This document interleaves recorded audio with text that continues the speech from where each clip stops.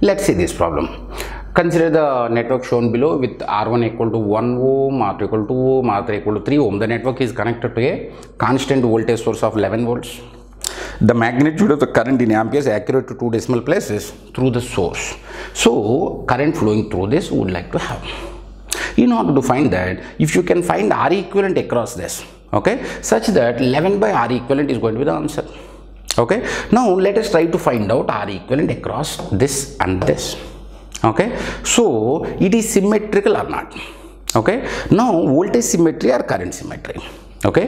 Basically means current symmetry in the sense across these two i'm supposed to do across the terminals as we discussed previously across the terminals we are supposed to do for current symmetry.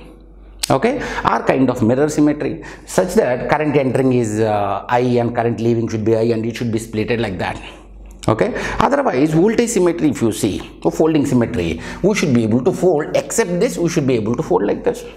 Okay? Of course this is uh, frankly speaking iit jee questions. Okay? But anyway in gate they have given in gate 18 itself. So we should be able to do or we should be able to recap of our uh, previous iit jee physics. That's it. Okay? Now if you go ahead with voltage symmetry voltage symmetry voltage symmetry then what will happen? See here yes. Let me do here. Okay. So if i do voltage symmetry then see here for example okay let me take right now this is a for example. This is b. Okay. Now with respect to this see here both are symmetric or not? R1 r1 in between r2 r1 r1 r1 r1 r2 r3 r3 symmetric so with respect to any point with respect to b for example if it is v1 v1 after r1 after r1 this should be v1 right? Now with respect to b if it is v2 it should be v2 problem solved that's it. Problem solved okay? Because with respect to a to v1 r1 is there a to v1 r1 is there. the both are connected in parallel with respect to v1 to v2 r1 is there. With respect to v1 to v1 r2 is there. V1 to v1 r2 is there. So what is the net equivalent is going to be zero?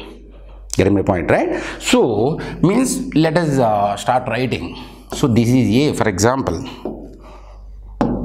This is a okay? So from a to v1 a to v1 r1 r1 parallel. A to v1 a to v1 so a to v1 equivalently r1 by 2 so r1 is 1 ohm. So 1 by 2 this is going to be v1 okay? Now v1 to v2 this is v1 this is v2 we said no? So v1 to v2 r1 is there. V1 if this is v1 this is also v1 only no?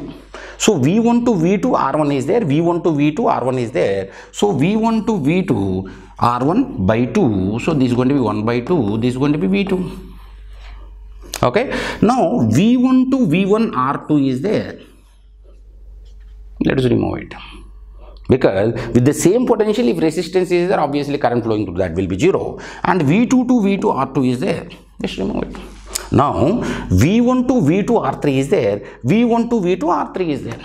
So v1 see here v1 to v2 r3 is there v1 to v2 r3 is there. So v1 to v2 r3 by 2 because they are connected in parallel. Because r3 and r3 are connected between same node pair v1 v2 v1 v2 okay? So that is going to be r3 by 3 is going to be 3 by 2 okay?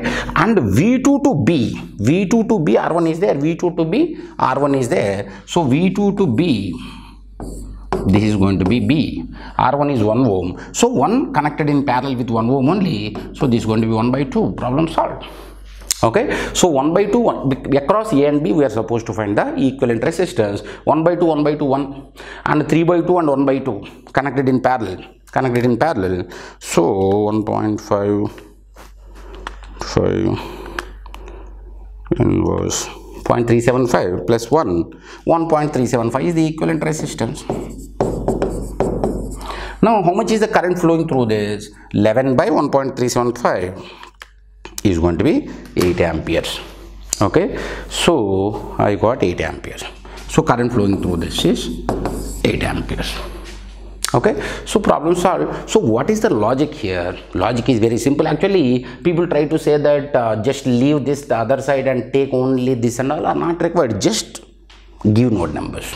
Give node numbers whatever may be the equivalent here.